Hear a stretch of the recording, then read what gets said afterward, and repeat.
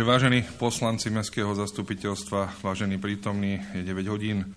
Podľa paragraf, paragrafu 12 zákona Slovenskej národnej rady číslo 369 lomeno 1990 zbierky o obecnom zriadení znení neskorších predpisov Otváram 19. zasadnutie Mestského zastupiteľstva v Rožňave v tomto volebnom období. Vítam poslancov Mestského zastupiteľstva a hlavnú kontrolórku riaditeľov príspevkových organizácií, konateľov obchodných spoločností, prednostku Mestského úradu, vedúcich odborov Mestského úradu a všetkých prítomných.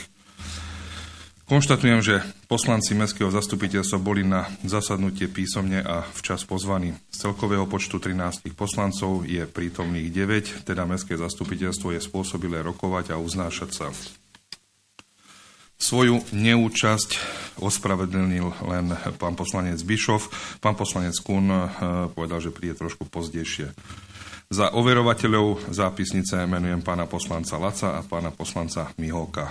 V súlade s rokovacím poriadkom overovateľia dozerajú na správnosť a úplnosť zápisnice zo zasadnutia Mestského zastupiteľstva, ďalej dozerajú na hlasovanie.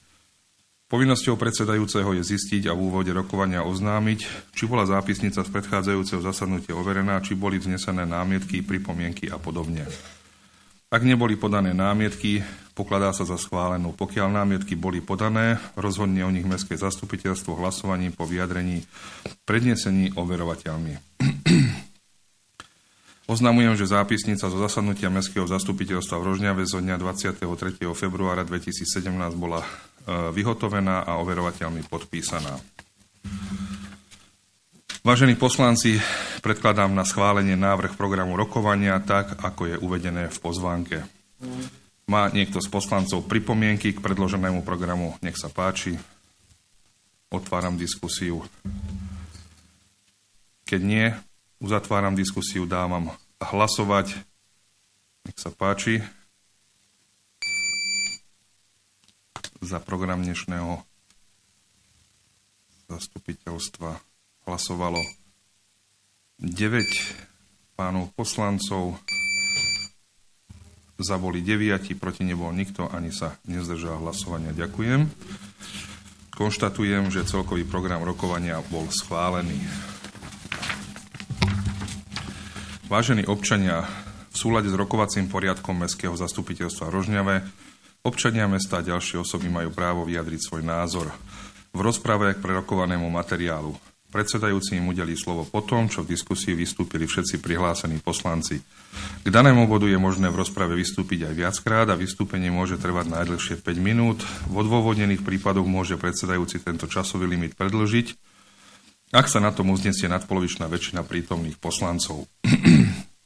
v bode diskusia občanov ak chcú vystúpiť v problematike, ktorá nie je predmetom rokovania, časový rozsah nesmie presiahnuť dĺžku 5 minút. V odôvodnených prípadoch môže byť tento časový limit predsedajúcim predlžený, ak sa na tom uznesie nadpolovičná väčšina prítomných poslancov. Do programu rokovania sa zaraďuje medzi 13. a 13.30 hodinou. Hneď po ukončení prestávky v rokovania trvá najdlhšie 30 minút. Na návrh poslanca môže byť tento limit predlžený, ak sa na tom uznesie nadpolovičná väčšina prítomných poslancov. Občania mesta e, maďarskej a inej národnosti majú právo hovoriť na zasadnutí Mestského zastupiteľstva svojim materinským jazykom. Mestský úrad zabezpečí preklad vystúpenia do slovenského jazyka priamo na zasadnutí Mestského zastupiteľstva v súlade so zákonom Národnej rady Slovenskej republiky číslo 184 lomeno 99 zbierky zákonov o používaní jazykov národnostných menšín, znením zmien a doplnkov. Vážení poslanci, v súlade s paragrafom 9 odstavec 2 rokovacieho poriadku poslanec sa považuje za prítomného na rokovanie vtedy, keď je prítomný v rokovacej miestnosti a zároveň má vloženú čipovú identifikačnú kartu v elektronickom hlasovacom zariadení. Žiadam vás, aby ste pred opustením rokovacej miestnosti počas rokovania čipovú identifikačnú kartu vybrali z hlasovacieho zariadenia. V prípade pochybnosti dodržiavania rokovacieho poriadku prosím poslancov o promptné riešenie. Takže úvod máme za sebou. Keď dovolíte, pristúpime k bodu číslo 2, a to je obnova Mestského úradu v Rožňave, zvýšenie energetickej efektívnosti verejnej budovy. Máte pred sebou materiál, ktorý sme pre vás pripravili. E, táto výzva vyšla 1. marca a musí byť odozdaná 31. marca, čiže je to taký dosť krkolomný termín a za tento krátky čas náš úrad e, musel vynaložiť enormné úsilie o vydanie rôznych povolení, získanie povolení a tak ďalej a tak ďalej. A jedným, jedným z týchto povolení vlastne je aj uznesenie Mestského zastupiteľstva o spolufinancovaní tohto projektu. Keď dovolíte, ja nebudem čítať e, celú túto dôvodovú správu, je to tam jasne a zreteľne napísané, o čo sa jedná. E, keby nám tento projekt prešiel, tak e, keď ste sa tam dočítali, dojde skoro ku 70-percentnej úspore energií. 77? 77-percentnej, takže je to dosť značnej miere, pretože táto budova nechcem povedať, že je v dezolátnom stave, ale v energetickom dezolátnom stave určite je. Neviem, keď budete mať otázky, ja otváram diskusiu, nech sa páči, pýtajte sa, ak sa chcete spýtať na niektoré veci, čo budeme vedieť, určite vám odpovieme. Nech sa vám páči, otváram diskusiu. Pán poslanec Lach. Svoj diskusný príspevok začnem tým, že budem hlasovať za tento materiál, aby bol prijatý, aby sme teda odhlasovali spolúčasť, ale uh, mrzí ma, že napriek tomu, že je to časovom strese, uh, budem hlasovať o niečom, o čom nemám predstavu, že čo to je. Hovorím o tom, že ten, uh, dokážeme v, tech, v komisii výstavby riešiť 4 metre plynovod zriadenie vecného bremena a tú investíciu za 1,5 milióna sa do komisie výstavby a nedostalo. E, neviem nič o technických riešeniach tejto rekonštrukcie a e, ďalších veciach, čo sa týka napríklad e, autorského zákona, e, problematika autorského práva na budovu, architekta budovy, e, ďalšie zmeny, ktoré budú, ako bude vyzerať po rekonštrukcii Mestský úrad, Čiže to sú veci, ktoré by som bol rád vedel predtým, než e, budem hlasovať za schválenie tohto príspevku, ale bohužiaľ k tomu nedošlo a e, myslím si, že napriek časovému stresu, ktorom sa pripravovala žiadosť o nenávratný finančný príspevok, by sa bolo dalo aj s poslancami tieto veci prekonzultovať alebo oboznámiť poslancov, že o čom budeme hlasovať. Uh, osobne podľa toho skromného materiálu, ktorý máme k tým technickým riešeniam, mám to, že uh, je to v tom materiáli nadhodnotené a úspora 77% energií sa týmito, e, touto rekonštrukciou nedosiahne to nie je možné, som hlboko o tom presvedčený, aj po konzultácii s odborníkmi, že na to, aby sa dosiahla úroveň A1 a 78% alebo 77% úspora, e, musia byť e, predmetom rekonštrukcie aj ďalšie veci, nielen zateplenie a výmena e, výplne okien. Čiže toto, toto je vec, ktorá mi vadí, prekáže na celom, ale znovu opakujem, budem hlasovať za tento e, materiál, aby teda sme schválili výšku našej e, spolufinancovanie, spolúčasti. Ďakujem. Ďakujem. Ja len by som rád prečítal niečo. Zateplenie obvodových stien, zateplenie strechy a stropu nad nevykurovanými priestormi, zvýšenie atiky, výmeny odvetrávacích komínov, rotačných hlaví, strešných vtokov, zateplenie terasy a výmena zábradlia na terase, výmena vyplní stavebných otvorov, rekonštrukcia elektroinštalácie, výmena svietidel, rekonštrukcia existujúceho systému teplovodného vykurovania, výmeny bleskozvodov a požiarných rebríkov. Toto všetko je zahrnuté do projektu, ktorý sa urobil. Pán poslanec Kováč, nech sa páči.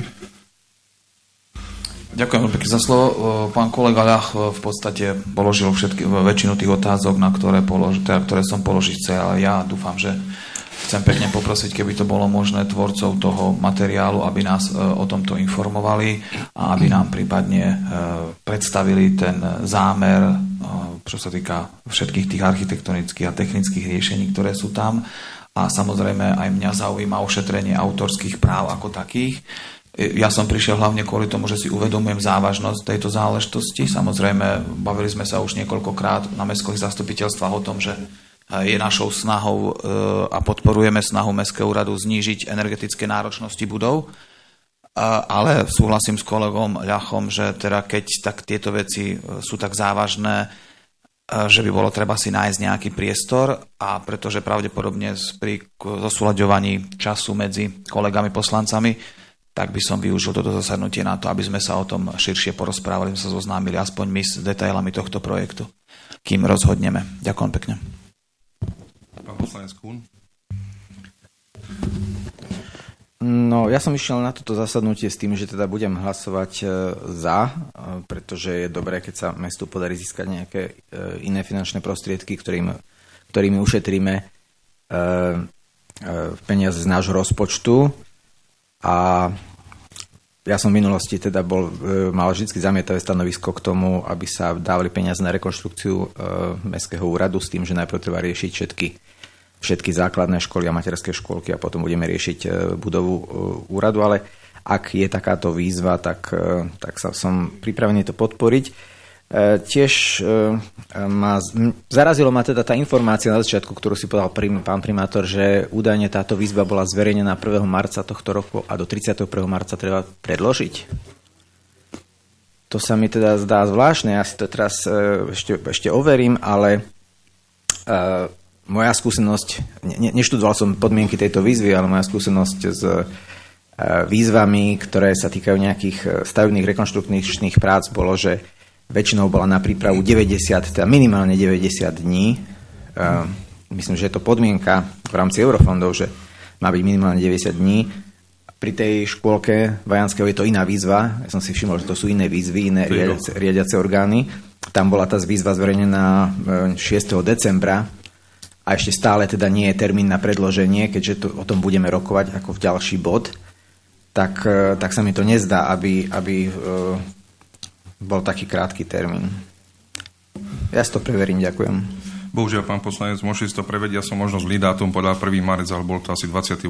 február. Takže ja si myslím, to nemení na situácia. Sám vieš, lebo si odborníkom v europrojektoch, že my to nezmeníme. Hej? Keď táto výzva vyjde takto a je mesiac na to dané, hej, človek musí byť pripravený. My sme tieto projekty pripravovali, nevedeli sme, kedy vyjde výzva. To znamená, za tento mesiac sme museli ešte stíhať rôzne schvalovačky od okresného úradu, životného prostredia, pamiatkárov, hygieny a ja neviem ani čoho.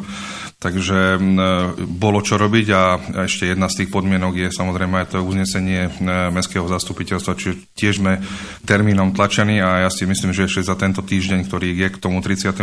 marcu, ako budeme mať dosť ešte besené noci, aby sme to všetko pripravili tak, ako má byť, pretože tá výzva, keby ste ju videli, tak určite je aspoň na 200 strán a je čo robiť, aby sme ju vyplňali a rozpočet rozobrali tak, ako má byť vyplnený. Nie je to jednoduchá výzva. Takže fakt pracuje sa na tom. A ešte by som sa vrátil aj k tomu, ďakujem pekne, že podporíš tento projekt, ale môžem povedať, že v histórii tohto mesta e, nebolo ešte toľko projektov podaných, ako sme teraz podali, pretože máme ešte 5 alebo 6 e, projektov podaných aj na, na e, Envirofond a tak ďalej, takže dosť sme sa na tieto veci pripravovali, len tento je taký krkolomný, ktorý, ktorým e, ani jeden z nás neovplyvní za tento jeden mesiac, takže buď to urobíme, alebo, alebo nie. Je ťažko povedať, či, ten, e, či táto výzva sa bude predložovať, alebo nie, ale zatiaľ bolo tak, že do 31. marca. Ale ja by som potom ešte poprosil možno nejaké e, kratšie informácie aj moje kolegyne z regionálneho odboru a potom aj pani Mackou ohľadom tohto projektu aby, projektu, aby vám aspoň v krátkosti zhrnula, že o čo sa jedná. Pán poslanec Kunešte, nech sa páči. Ja sa chcem ešte spýtať, či um, túto žiadosť aj tie ďalšie pripravovali zamestnanci Mestského úradu, alebo sme využili služby nejakej uh, konzultantskej firmy. Pani prednoska odpovie potom, dobre? Využili sme služby externého dodávateľa. Môžete mi povedať jeho názov? Pani kolegyňa ma do... Nehnevete sa, nepamätám sa, lebo bolo verejné obstarávanie urobené. Pani Janošíková, máte ešte mikrofón, bude tak dobrá, aby ste...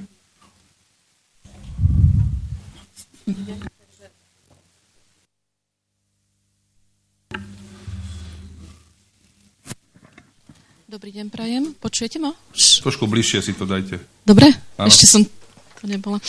Takže áno, na spracovanie tejto žiadosti bolo vyhlásené verejné obstarávanie. Je to zverejnené na stránke mesta. E, prebiehalo e, s vyhodnotením 23. Vy- Vyhodnotenie bolo 23. čiže minulý týždeň. A e, spracovateľom žiadosti je externá firma Pro HSRO. Čiže všetky, všetky bližšie informácie sú na stránke mesta.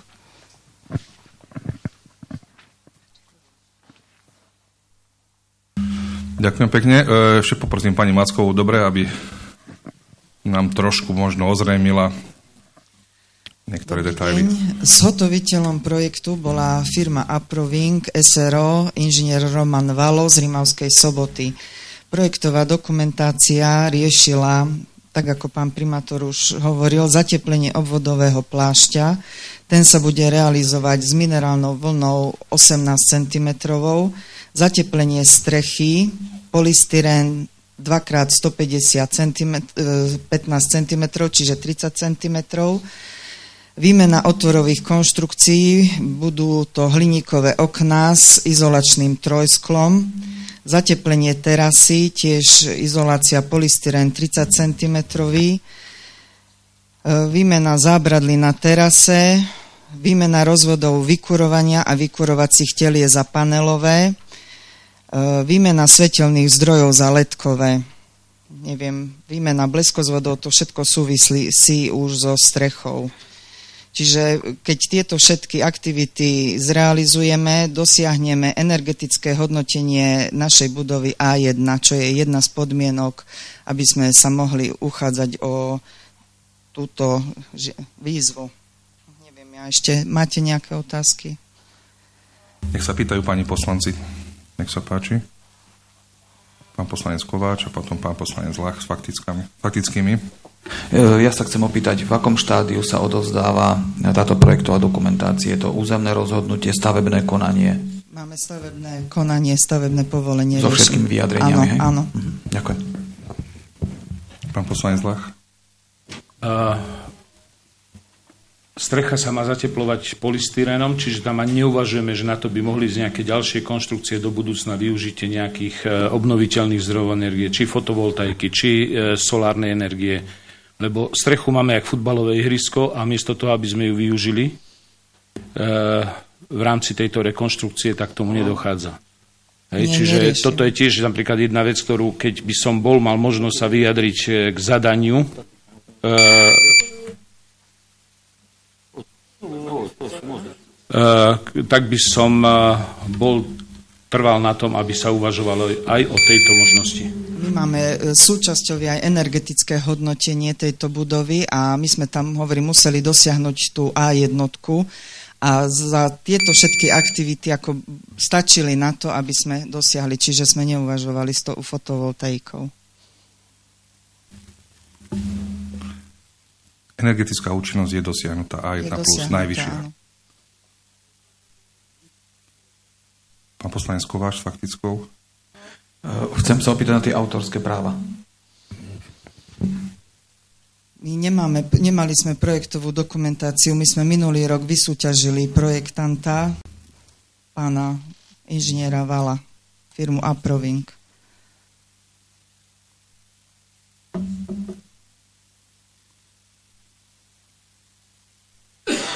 Nech sa páči ďalej.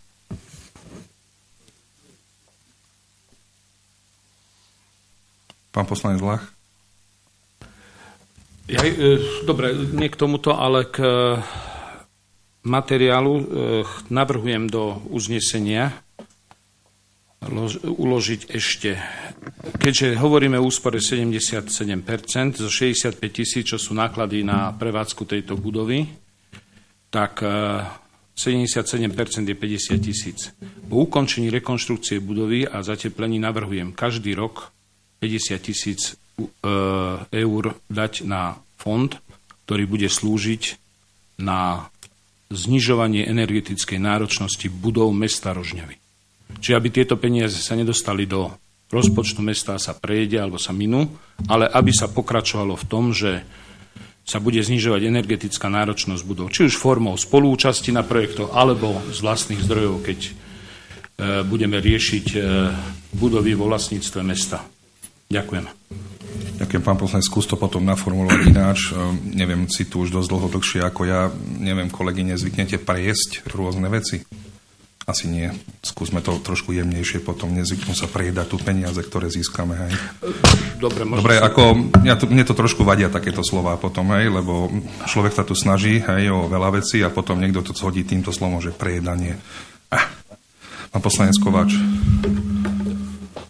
Pán primátor, chcel by som požiadať o 10-minútovú prestávku. Nech sa páči, páni kolegovia. Chcete 10-minútovú prestávku? Chcel by som cez prestávku povedať dôvod. Číka sa tohto materiálu, len myslím si, že nepatrí to na kamery. Ďakujem pekne. Nezdržím dlho, ako možno to bude 5 minút, možno len minútka, ako nejde o to, aby... Nech sa páči, hlasujte, či chcete mať prestávku 10 minútovú, ktorú navrhuje pán poslanec Kováč.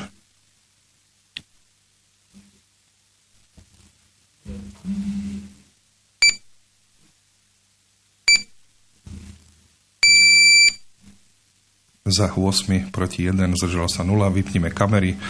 Pán poslanec Kováč, počúvame ťa. Pán poslanec Kováč, chceš pokračovať ďalej?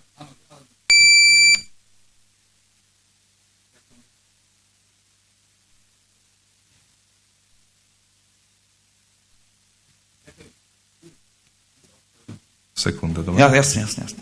Uh, ďakujem veľmi pekne za priestor, uh, vážení občania, vážení televízni diváci. Uh, chcel som využiť tento, technic, tento priestor na to, aby som sa dozvedel niektoré technické náležitosti, ktoré vyplývajú z projektovej dokumentácie a ku ktorým som sa v priebehu študovania materiálov nedostal. Ďakujem veľmi pekne za priestor.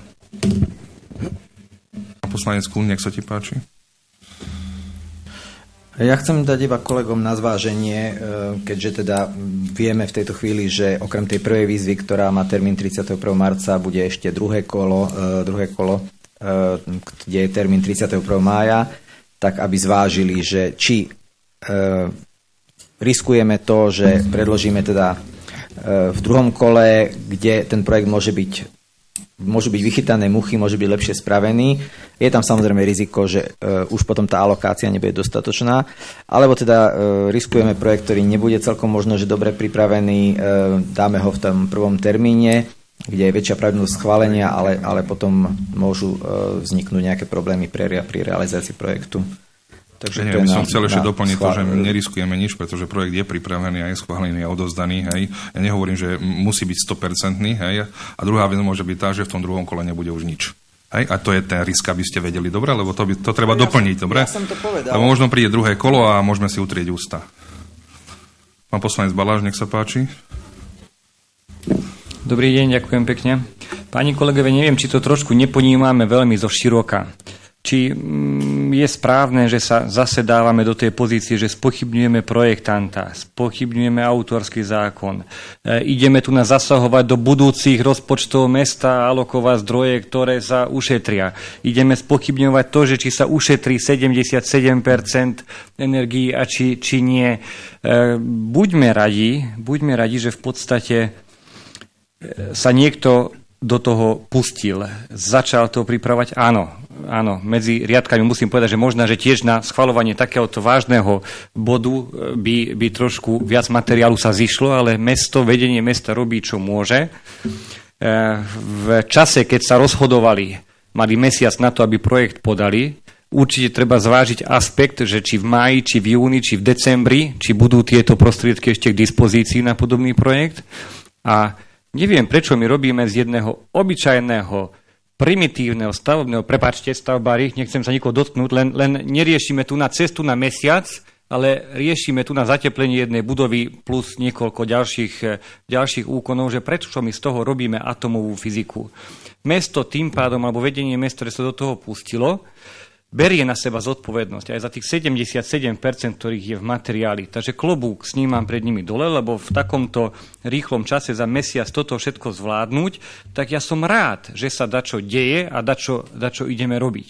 My, čo sme tu poslanci, sa ideme tváriť, že robíme všetko pre mesto a, a, a a e, chceme vlastne nie len, tak jak tu dneska oznelo, že zjesť majetok mesta, to znamená, že majetok mesta, ktorý má, odpisujeme a sa znižuje jeho hodnota, ale chceme do neho aj investovať. Máme tu možnosť 95% e, investície prefinancovať z európskych zdrojov a my ideme tu na laborovať nad tým, že či ideme, neideme, aká vata, kde bude polystyrén, ako bude to si zobralo na zodpovednosť našťastie mesto. Takže, takže ja by som chcel poprosiť, máme tu jeden termín, mesto spravilo všetko preto, aby tento termín e, stihlo. Určite aj, aj kolega Kuntuna e, medzi riadkami povedal, že je pravdepodobnosť vyššieho úspechu e, v tom prvom kole ako v tých ďalších. A, a od nás sa čaká len schválenie, že áno, mesto, robte ďalej. Takže, takže blahoželám, že za takto krásny čas sa toto podarilo. A m, mm, trošku tak som sa tak zamyslel nad tým, že mi je tak lúto trošku zamestnancov mesta, ktorí okrem toho, že makajú vo svojej oblasti, tak potrebujú presvedčiť poslancov, že poďme za 5% nákladov zrekonštruovať, zrekonštruovať budovu mesta.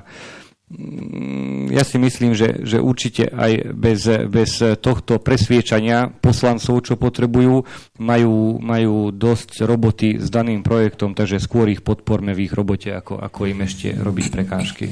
Ďakujem pekne. Ďakujem, by som len chcel toľko ešte povedať, že to nie je isté, že ten projekt prejde. My ho len podávame do 31.3. Hej? E, maximálne, keď e, ja som sa pýtal na to rozhodnutie, môže prísť o 4 až 5 mesiacov, podpísanie zmluvy okolo novembra a samotná realizácia, keby to bola niekedy pravda, tak až na budúci rok. Aby ste mali prehľad o tom, hej, zhruba, že aké sú to časové horizonty. Hej. Podávame jeden obyčajný projekt, ktorý ho podávame, skúšame. Takisto bude projekt ďalší, ktorý si prelistujete a takisto ich bude ďalších 5, ktoré idú do Envirofondov. Hej, na toto všetko trebalo robiť, projektové dokumentácie a tak ďalej a venovať sa tomu. Takže myslím, že pred rokom, ale dvoma rokmi nám bolo vyčítané to, že sa nezúčastňujeme eurofondov, teraz robíme maximálne preto, čo môžeme. Takže, ale nie je to žiadna výhovorka, ja beriem všetky tieto argumenty, ktoré ste povedali aj vy, len sami viete a máte to tam vzadu skryté, aj tak všetci tí, ktorí ste o tomto hovorili, že ten termín je krkolomný a musíte ho podať, aj keď neviem, čo bude. No ale bohužiaľ, pán poslanec Kováč s faktickou. Trocha ma prekvapil vstup pána Baláža. Zabudol na jednu dôležitú vec, že tu sa nejedná o 5% peňazí z daní miestnych poplatníkov, ale jedná sa o celú sumu, pretože keď projekt nie je dobre vypracovaný a nesplníme podmienky, tak ho musíme kedykoľvek zaplatiť, keď sa tieto veci preinvestujú. Takže prosím nebagatelizovať, jedná sa o sumu 1 200 tisíc eur a to nie je jedno. A to, že v, krátkej, v krátkom čase sa tieto veci rozhodujú. Myslím, že to bolo x krát vyzdvihnuté a všetko je v poriadku, ale na základe skúseností, ktoré z minulosti máme, chceme e, nie že ovplyvniť veci, ale pýtame sa, aby sme mali všetci istotu, že tí ľudia, ktorí to robia, a pretože to robili v časovom strese a v snahe urobiť čo najlepšie to dielo, aby náhodou sme na niečo nezabudli. Naše pripomienky sú možno malicherné, možno bagateľné, ale väčšinou sa stáva, že práve takéto veci ľudia zvyknú zabúdať. Preto sa pýtame a preto chceme vedieť. Ďakujem pekne. Pán poslanec Kuhn. E, pán kolega Baláš, e, tu nikto nespochybnil to, že by sme túto e, žiadosť mali predložiť. Kolega Kováč ako jediný stavebný inžinier medzi poslancami mal pochybnosti ohľadne nejakých technických riešení a ja mám pochybnosti ohľadne toho, že sa zase niečo robí veľmi rýchle, že sa tu dozvedáme, že síce Mestský úrad na tom robí 6 e, mesiacov, ale poslanci tých 6 mesiacov neboli e, konzultovaní a teraz to dostávame zase e, na poslednú chvíľu pod tlakom. Už som to minimálne raz za tých 6,5 roka zažil, že sme dostali niečo s tým, že musíme to buď schváliť dneska, alebo proste prídeme o peniaze. Toto mne teda osobne vadí. Pán poslanec neháč nás zase do jedného vreca s minulosťou. Dobre, aj opäť opakujem, to, že je výzva na mesiac, ani ty si ju nevymyslel, ani ja. Neháč nás do jedného vreca. Dobre, to, čo bolo minule. My sa fakt snažíme o to, aby to bolo a to, že máš na to mesiac, neviem, ty by si sa na mojom mieste ako choval, tiež to isté by si robil, aby si niečo podal, alebo možno nie. Pán poslanec Lach. S faktickou ťa predbehol pán poslanec Kun. Daj mu ano. ešte priestor, dobre? Áno, nech sa páči. Pán primátor, na tvoju uh, priamu otázku, uh, na tvojom mieste by som s poslancami konzultoval, hlavne so stavebnou komisiou, aj s finančnou komisiou, ale hlavne so stavebnou komisiou financoval, uh, konzultoval už v procese prípravy. Čiže keď hovorí, že sa na tom robilo 6 mesiacov, čo je fajn, uh, tak za tých 6 mesiacov minimálne raz, keď nie dvakrát to mohlo byť na stavebnej komisii, aby sa aj poslanci s tým oboznámili a aby k tomu mohli dať nejaké pripomienky. Ďakujem. Pán poslanec Lach. Ja som svoj príhovor začal tým, že budem hlasovať za. To je za prvé. Čiže nejdem tu nič pochybňovať, ale ako tu odznelo, žiadateľom nenávratnej finančnej pomoci sme mesto a tým pádom berieme za celú akciu zodpovednosť. Nikto z nás nesníme. Za druhé, skončí záručná doba tej budovy a prevádzka celej a náklady na údržbu a prevádzku tej budovy zostanú zase nám. Čiže je tu na mieste nejaká predbežná opatrnosť, aby sme sa spýtali. E, keby to tak nebolo a nerobili by sme to, tak potom môžeme z domu e, mailom pre rolám odhlasovať čokoľvek. Na čo potom sa tu stretávame? To je jedna vec. A e, to, že sme v časovom strese, to je pravda, ale stavebný projekt, lebo treba rozlíšiť, čo je stavebný projekt a čo je projekt žiadosť o nenávračnú finančnú pomoc. Tak stavebný projekt sa pripravoval dostatočne dlho na to, aby sme nejakým spôsobom sa mohli toho zúčastniť. Tí, ktorí sme dostali nejakú dôveru, že teda máme hovoriť o, teda máme možnosť alebo povinnosť e, sa vyjadrovať veciam, čo sa týka stavebníctva v tomto meste. Ďakujem. Pán poslanec Baláš s faktickou celý čas len hovorím o tom, že, že máme taký okliesnený podklad, od, o ktorom budeme my hlasovať. Tým pádom, že je tam toho málo, tak tú väčšinu zodpovednosti to ponímam tak, že si preberá mesto kvôli časovej tiesni. A kolega, chcem sa opýtať, keď skončí záručná e, doba tejto rekonštrukcie, nepochopil som úplne, že čo zostane na nás, alebo vlastne aké náklady, keď, keď som, ak som dobre registroval, tak 77% má byť úspora energii a že čo zostane na nás, lebo my nestaviame novú budovu, ktorú bude treba udržiavať. To je stará budova, ktorej údržba je nákladná. Takže nepochopil som poznámku. Pán poslanec Lach. Fasáda sa má zateplovať dvomi druhými materiálov. Minerálnou vlnou a polystyrenom. E, nie veľa firiem má zvládnutú túto technológiu. Vystala táto požiadavka z hľadiska požiarnej ochrany. No a keď nám o 2-3 roky začne opadávať fasáda, tak potom my budeme musieť po ukončení záručnej doby si nazbierať peniaze a opravovať to. Na toto som myslel. Nechcem tu zachádzať do detailov a už vôbec tu nechcem, aby toto sa preklopilo do nejakej emotívnej úrovne, lebo ako náhle začneme tu nejaké emotívne e, príspevky a riešiť s emóciami, tak e, skončili sme racionálnou úrovňou a e, nič konštruktívne z nejakej emotívnej debaty tu nemôže vzísť. Ďakujem.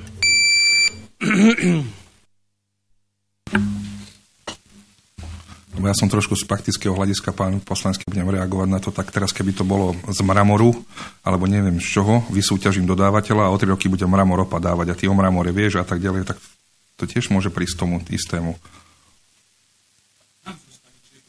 Dobre, ale keď teraz, teraz ty hovoríš o tom, bude tam mramor, ale bude tam niečo iné a bude to zase opadávať, lebo vysúťažíš, musíš vysúťažiť, ja to nedám tebe robiť a nikomu inému, hej. Bude súťaž na to. Máš nejakú záruku, hociaký materiál tam bude použitý potom, že to nebude opadávať?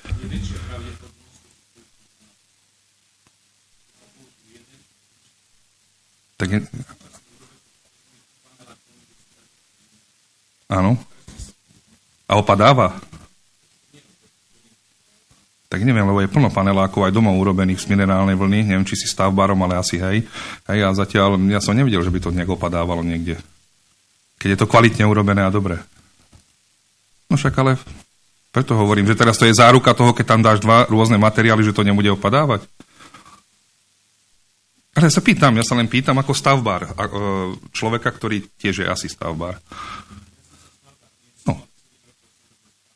No, áno. Áno.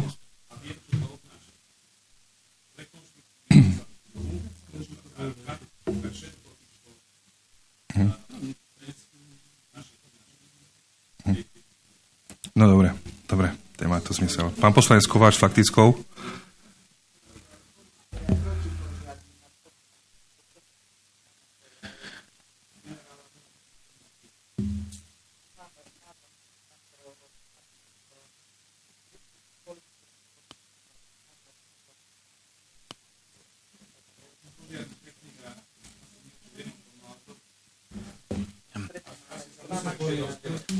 Nie, pán kolega, vychádzame z toho, že je stavebné povolenie a asi všetky dotknuté orgány sa k tomu vyjadrili a e, určite sa ten projekt urobil, pokiaľ je teda je, teda právoplatné stavebné povolenie, bo asi k projektu musí byť právoplatné stavebné povolenie. Že? E, iná vec. E, v konečnom dôsledku, pre, prečo sa toľko pýtam, prečo toľko ma zaujíma, prečo možno e, sú tieto veci pre mňa dôležité, z jednoduchého dôvodu, konečná, konečná zodpovednosť je na tomto grémiu, Mestské zastupiteľstvo musí alebo nemusí sa k tomu teda vyjadriť a pokiaľ to schválí, tá zodpovednosť za podporu mesta v tomto prípade je na našich pleciach. A pokiaľ je na mojom pleci nejaká zodpovednosť, tak sa snažím, aby som, ako pán primátor povedal, spokojne spával v inej teda súvislosti a preto sa veľa pýtam a preto ma veľa zaujíma. Ďakujem pekne, len toľko. Ďakujem, nech sa páči ďalší do diskusie. Keď nie, tak uzatváram diskusiu, aby som poprosil pána e, poslanca Lacha, aby nám nadefinoval to, čo e, vymyslel do ukladacej časti. Budeme najprv o tom hlasovať a tak budeme potom o celkovom materiáli hlasovať. E, chcem sa ospravedlniť za ten výraz, že prejesť peniaze. Uráža to aj mojich kolegov, vieš. Tvojich kolegov bývalých. Chcem sa ospravedlniť za ten výraz, ale je asi na mieste, že keď ušetríme, tak tie peniaze znovu investovať do znižovania energetickej náročnosti tak, aby e, sme šetrili čo na, aj do budúcna, aby tie peniaze priniesli zase ďalšie peniaze v podobe úspor. Čiže e, navrhujem z ušetrených finančných prostriedkov uložiť 50 tisíc eur ročne na fond znižovania energetickej náročnosti budov vo vlastníctve mesta Rožňova. A keď to nebude 50? Ja vychádzam z toho, čo je v materiáli. Mm. Ešte som išiel teda dolu, lebo nebolo to presne 77%. Ja vychádzam len z toho materiálu, ktorý mám, z tých informácií, ktoré mám. Ako?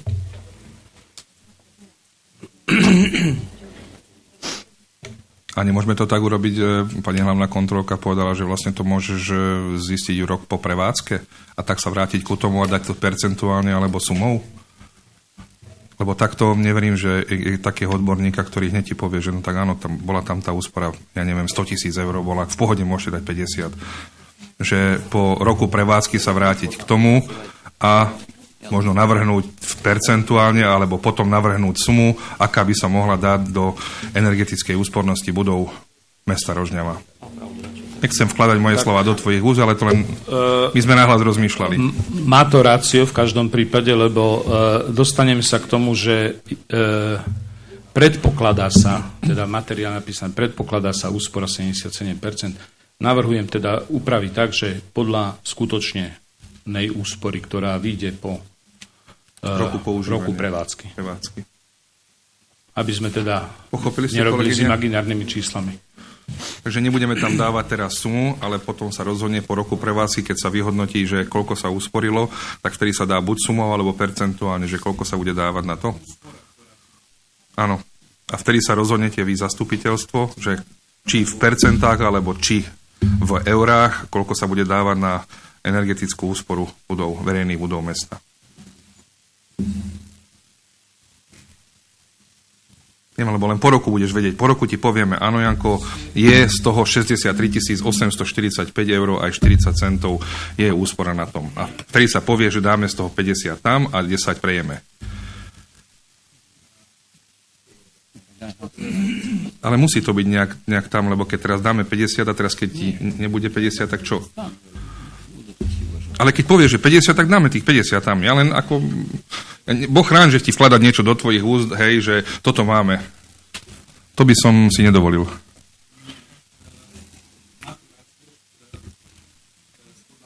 ušetrených, ale skutočne ušetrenú sumu. Nie 50 a, a špekulovať to s nejakými percentami. Keď bude úspora 10 tisíc eur, tak 10 tisíc eur. Ale ja som to aj tak myslel, že my, my vyšpecifikujeme presne, ako som ti povedal, 63 424,50 a vy sa potom rozhodnete, či z toho dáte 30 tisíc, 20 tisíc, 40 tisíc, 5%, 10%. Ne, neporozumeli sme si.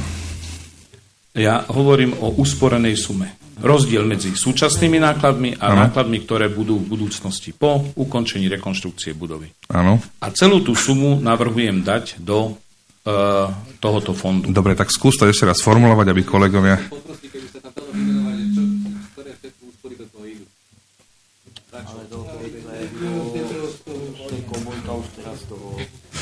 Skús, pán poslanec Lach, ešte raz to naformulovať a budeme hlasovať. Dobre? Uh, z ušetrených finančných prostriedkov teda ušetrené finančné prostriedky uložiť na fond e, znižovania energetickej náročnosti budov vo vlastníctve mesta. Ušetr... Ušetrené finančné prostriedky po rekonštrukcii budovy uložiť na fond, ktorý sa použije na znižovanie energetickej náročnosti budov. Kolegovia, keď ste pochopili, tak hlasujte. Keď nie, povedzte mi, že nie. Pochopené, či nie? Tak a nemusíš ho mať. Nech sa páči, hlasujte. Aj teraz hlasujeme o tom, čo budeme mať, ešte nemáme. Ale ja som už ukončil diskusiu.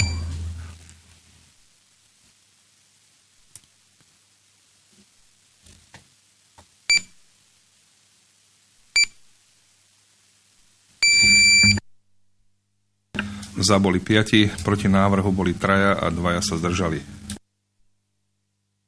Ďalší návrh za, zaznel tu, neviem, opravte ma, aby som, keď nie, tak budem čítať návrh na uznesenie.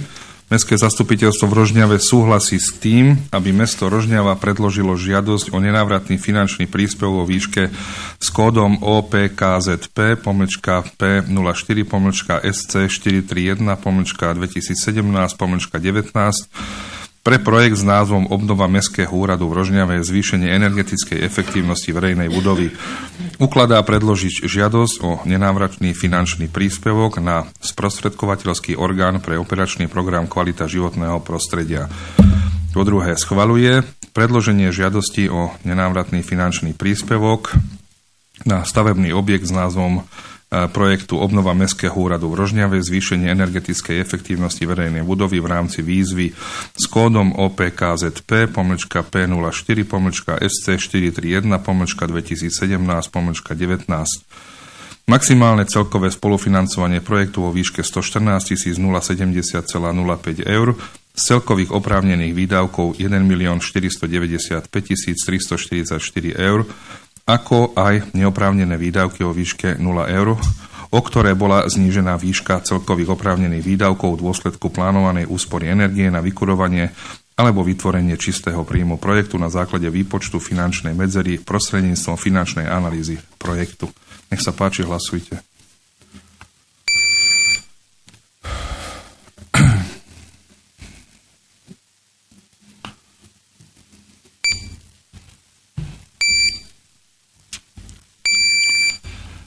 Ďakujem za 11, proti 0, zdržalo sa 0.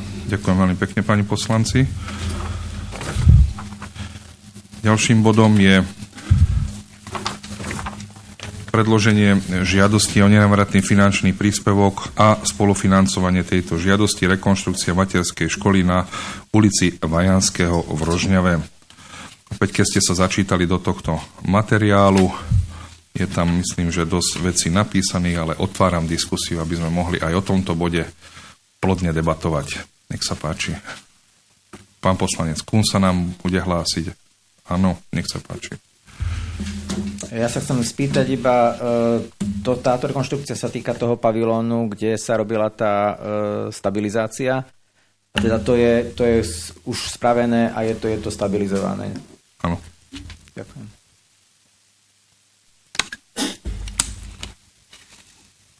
Nech sa páči ďalej. Pán poslanec Kováč s faktickou. Ďakujem pekne. Mne to vychádza teda, že predpokladaná výška preinvestovaných prostriedkov, ak sa to podarí, bude zhruba pol milióna eur. Myslím, že asi, asi tak to je. Áno, áno. E, dobre, e, ja z toho materiálu mi to nebolo jasné, ja sa ospravedlňujem a mňa by zaujímal, aký rozsah teda prác budeme na tom pavilóne robiť. Lebo za pol milióna sa mi zdá celkom reálneho zbúra postaviť nový, keď teda na to európske fondy nie sú asi. Ďakujem. Kolegyne, môžete mi pomôcť? Tak súčasťou projektu je vlastne rekonštrukcia pavilónu A a tá pozostáva z rekonštrukcie interiéru, kúrenia a elektrických rozvodov, zmien dispozície, výmeny okien a vchodových dverí, zateplenia vodového plášťa a zastrešenia objektu. E, rovnako súčasťou projektu je aj rekonštrukcia areálu materskej školy. To bola vlastne podmienka výzvy, že nemohlo sa iba zateplovať, muselo sa potom zrekonštruovať aj areál a ten rekonštrukcia areálu pozostáva z, z rekonštrukcie spevnených a nespevnených ploch a osadení nového detského mobiliáru. Stačí, pán poslanec? Pán poslanec Kun, nech sa páči.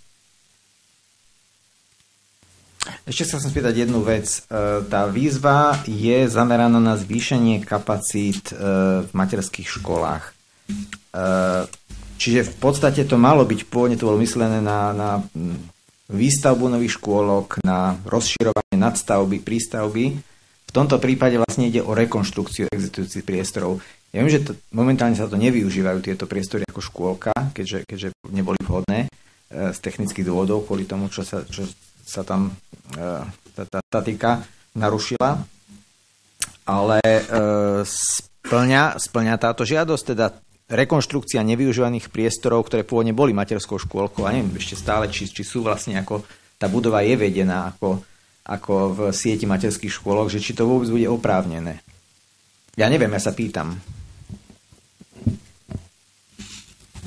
Áno, samozrejme oh, hovoríte vlastne všetky podmienky výzvy a všetky podmienky výzvy, tak ako ste ich povedali, sú splnené. Keďže táto škôlka a tento pavilon sa v súčasnosti nevyužívajú a kapacita zariadenia je teda znížená, uh, takže projekt predpokladá s navýšením uh, kapacity škôlky o dve nové triedy. Minimálnou požiadavkou bolo vytvorenie desiatich miest. A v tomto projekte sa vlastne vytvoria dve nové triedy, čo je 46 nových, prac, nových miest pre detičky. Takže je to všetko splnené. Pán poslanec Kováč. Ďakujem. Ja mám ešte jednu otázku. Je súčasťou tejto výzvy aj uh, verejné obstarávanie zhotoviteľa? To znamená, s výzvou ide už aj zhotoviteľ? Nie, ešte nie. Dobre, uh, nebudem predbiehať. Pýtam som sa len na to pre uh, televíznych divákov aj z prítomných, ktorým to uh, není jasné, prečo sa pýtam na túto vec. Predbieham pán primátor správne povedal, že ešte to možno nie je schválené, možno to bude schválené.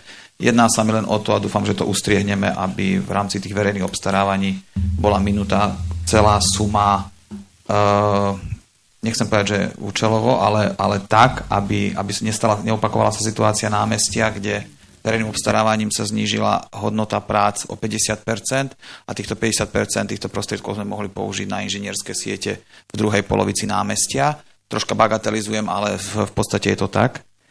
Takže to je jedna vec, ktorý, ktorej som sa prihlásil. Druhá vec je, že e, rozsah tej rekonštrukcie, tak ako je, e, len na vysvetlenie, ten rozsah, ako som povedal, tých 500 tisíc eur je naozaj veľmi veľký rozsah, ale pokiaľ diváci pozorne počúvali, tak v podstate ideme postaviť novú škôlku a ešte k tomu dáme nejaké, nejaké, nejaké veci do exteriéru, aby, aby deti mali svoj komfort.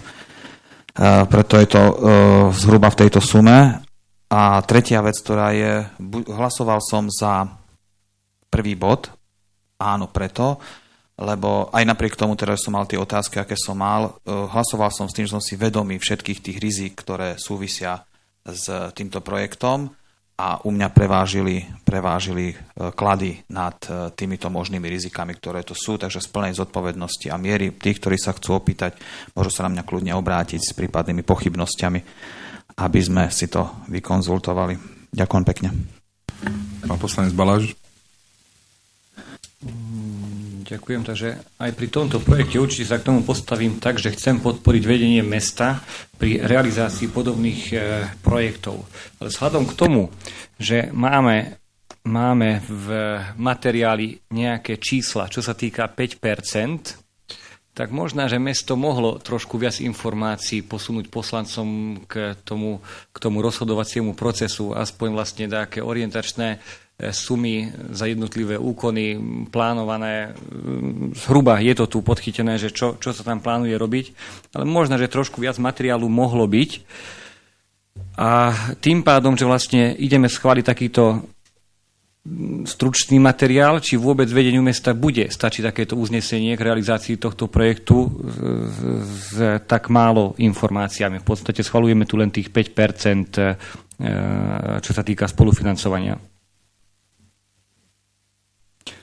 Toľko je moja otázka k tomu. do tej výzvy potrebujeme len toľko, toľko výzva chcela. Uznesenie mestského zastupiteľstva o spolufinancovaní. Ako poslanci mesta, tým pádom, jak kolega pred chvíľou tu nám povedal, že vlastne e, to, to, tými našimi spoločnými hlasmi urobíme to rozhodnutie a pri realizácii, pri tom výkone e, nesie tu zodpovednosť mesto, ale aj ku tomu rozhodnutiu možno, že by bolo vhodné posielať trošku viac materiálu. Viem, že tu bol časový stres a, a, a tlak na e, termín, ale, ale keď by sa dalo trošku viac materiálu, určite by sme privítali. Ďakujem. Ďakujem, pán poslanec Kuhn. Podľa mojich informácií stačí uznesenie, ktoré hovorí o tom, že Mestské zastupiteľstvo súhlasí, aby bola predložená takáto žiadosť a, a vyčlenuje alebo súhlasí, vyčlenuje finančné prostriedky na spolufinancovanie. Eh, je to ináč kvôli tomu, že v minulosti boli problémy, že niektorí starostovia podávali žiadosti bez toho, aby vôbec informovali poslancov, že bolo také predložené. A potom boli problémy, že žiadosť bola schválená a poslanci potom dodatočne nechceli schváliť spolufinancovanie a potom vznikali problémy, že boli schválené projekty, alokované peniaze a nemohli sa realizovať. Ďakujem, pán poslanec Kováč s faktickou. Prozba v súvislosti po schválení ktorejkoľvek z týchto, dúfajme, že dvoch žiadostí, by som bol veľmi rád, keby stavebná komisia pripravila do jednania Mestského zastupiteľstva e, svoje stanovisko k obidvom projektom. Ďakujem pekne. Dobre, akceptujeme. Pán poslanec Lach. A myslím si, že ani jeden z nás nechce nejakým spôsobom tú narušiť ten proces e, podávania e, žiadosti o nenávratnú finančnú pomoc. Že všetci chceme, aby sme doniesli nejaké peniaze do mesta, ale e, je dobré, keď upozorníme na rizika, ktoré môžu pri tom vzniknúť. Ja si myslím, že nikto nespadol z neba tak učený, že už by mu nebolo možné poradiť, ani že by sa veci dali robiť lepšie, jak je niekto presvedčený o tom, že to robí najlepšie, podľa najlepšieho vedomia a svedomia. Čiže tá diskusia tu je podľa mňa na mieste a uh, radšej diskutujme teraz, jak potom budeme sa tu hádať, keď vystane problém a budeme ho treba riešiť. Ďakujem. Ďakujem pekne, ale ja si myslím, že mm, nikto nebol proti tomu, aby sme diskutovali a takisto nie. Ja som rád, že ste diskutovali a sám vieš, ako stavbár alebo ako správca budovy, hej, že tie rizika stále môžu vyvstať. Hej? Lebo keď človek robil niekedy na stavbe, a to možno aj pán inžinier Kováč potvrdí, môže to stále vyvstať. Hej? Takže my sme sa snažili, aby sme, tomuto celému, aby sme sa tomuto celému vyvarovali, ale človek nikdy nevie. Nie, nie je to nikde napísané proste, hej, že, že to musí byť na milión percent takáto vec. Takže nie sme, nie sme proroci. Ale každopádne tá diskusia je, je dobrá. Možno, že mm, do budúcna to budeme musieť tak urobiť, že, že zasypeme vás týmito materiálmi, hej, aby, sme, aby ste sa mohli ešte viac k tomu vyjadriť. Len skúste nás aj v tomto pochopiť a vidím, že ste nás aj pochopili hej, po tej diskusii, že niektoré tieto výzvy, niektoré tieto výzvy 99,9% výjdu skoro tak, že jeden deň výjdu a na druhý deň to máš odozdať. Keď nie si pripravený, ako vôbec to nikoho nezaujíma. Absolútne to nezaujíma nikoho. Takže niekedy je to také, také krkolomné. A teraz s veľa týmito výzvami, ako som vám to spomínal, aj pri schvalovaní rozpočtu a tak ďalej sme sa snažili, aby sme mali, pretože e, predtým nebolo, nebolo skoro nič vypracované, na sme neboli pripravení. Takže my sme sa snažili o to, aby, aby tieto veci boli pripravené. Len hovorím, že skúste nás pochopiť, že všetko sú to absolútne krkolomné termíny. Pán poslanec Kováč. Ďakujem pekne. E, ja chcem dve veci len. Už nebudem zdržiavať kolegium. Prvá vec je všetkým občanom mesta, e, chcem jeden odkaz povedať.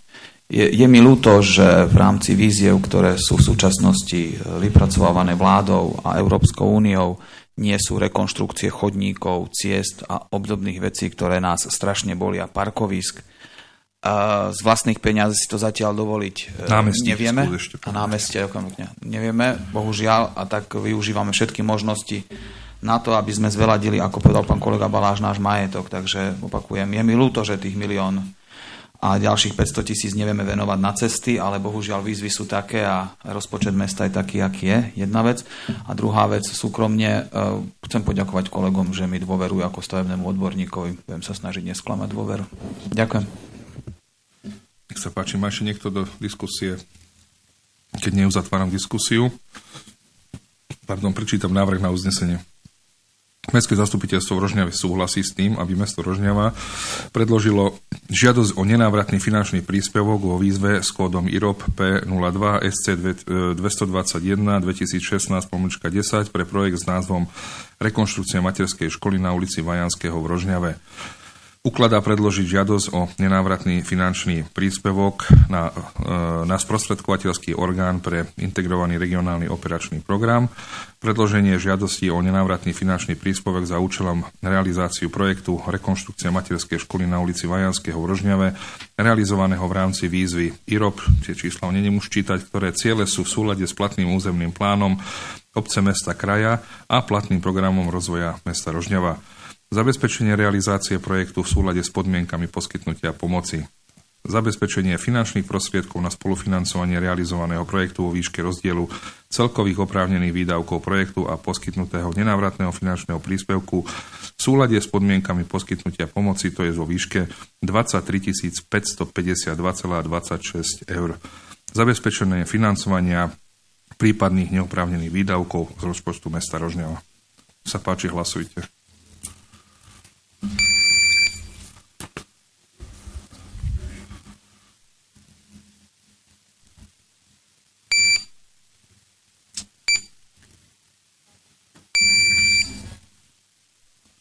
Hlasovalo 11 pánov poslancov, 11 za, proti 0, zdržalo sa 0. Ďakujem vám veľmi pekne. E, týmto bodom sme vyčerpali dnešné mestské zastupiteľstvo. Dobre, pán poslanec, ja takto ukončím. Pán poslanec Beke sa nám ešte prihlásil. Má niečo pre nás? Nech sa ti páči. Dajme mu slovo.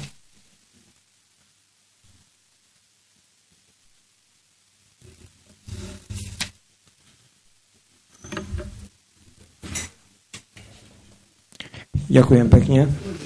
E, vážený pán primátor, poslanci Mestského zastupiteľstva, ako predseda komisie e, upozorňujem na povinnosti vyplývajúce z článku 7 ústavného zákona číslo 357 z, 2000, z roku 2004 o ochrane verejného záujmu pri výkone funkcií verejných funkcionárov v znení neskorších predpisov. Verejný funkcionár je povinný počas jej výkonu vždy do 31. marca podať písomné oznámenie za predchádzajúci kalendárny rok Komisii na ochranu verejného záujmu pri výkone funkcií verejných funkcionárov mesta Rožňava. Tlačivo oznámenia ste obdržali ako aj doručenie potvrdenia o podanom daňovom priznaní k daní z príjmov fyzických osôb za predchádzajúci kalendárny rok alebo iný doklad vydávaný na daňové účely, ktorý potvrdzuje výšku príjmov za príslušný rok, v tomto prípade za rok 2016, a to v termíne do 34.2017. Uvedené doklady doručte v zalepenej obálke s označením neotvárať do podateľne Mestského úradu v Rožňave. Ďakujem pekne. Ďakujem pekne, pán poslanec. Netýka sa to tých, samozrejme, ktorí už odovzdali. Áno, my, ktorí sme už odovzdali, tak nech sa páči, chce ešte niekto nejaký oznam prečítať. Keď nie, tak Dovolte, aby som sa vám poďakoval všetkým za dnešné e, mestské zastupiteľstvo, za váš drahocený čas, ktorý ste venovali mestu Rožňava a schváleným týmto projektom a dúfam, že aj v budúcnosti sa stretneme pri takýchto plodných debatách a samozrejme pri ostatných mestských zastupiteľstvách. Ďakujem veľmi pekne a pekný deň vám želám.